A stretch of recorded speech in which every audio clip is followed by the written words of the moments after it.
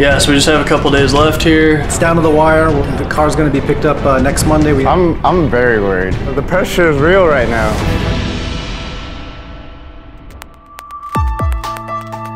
Uh, so we went as aggressive as we could on the tire fitment, with the risk being that it might just not fit on the car at all. We've got a custom set of rotiforms coming. They're being custom machined to our specs, exactly what we talked about putting on the car. Uh, the only problem is they're not here yet. You know, they're, they're custom machined wheels and they take time. They were in powder coat this morning. They were gonna weld them up and mail them out to us overnight tonight. This is actually 3D printed rapid prototype of the Cosworth supercharger. We have the first unit on this car and it's so early in development that they were able to actually send me their prototype to test fit on the car. But uh, we've got a real one on the car now. You know, it's coming really well. We've worked really hard from day one, like I said, and I'm really happy with where we're at on this build. I've got one little fab project left here. I'm gonna weld up this uh, fuel filler and just a little bit of assembly left, but I mean, we're 99% there.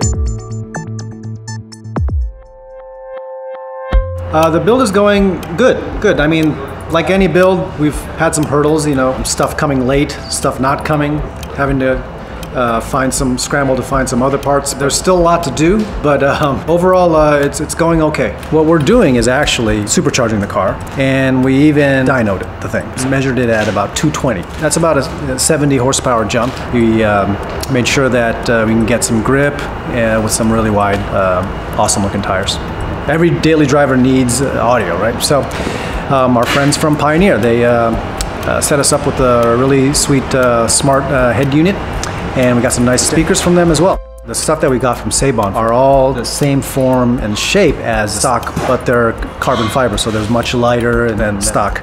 It's been a, a challenging uh, two months, but I look forward to showing it at the SEMA show.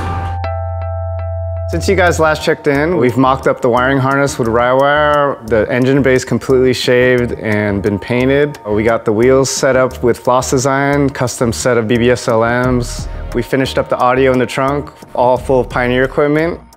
The biggest hurdle, um, I'm not worried about finishing up, you know, the bodywork or the interior. It's definitely going to be getting the ITBs running, getting the car tuned. It's uh, something that not many people have tried and we're going to be one of the first. So with only a few days to do it, it's kind of crazy, 90 days to build a Scion Tuner Challenge car. It sounds like a lot of time, but I could use another 90 days easily. We got about five days left, 100 things to do.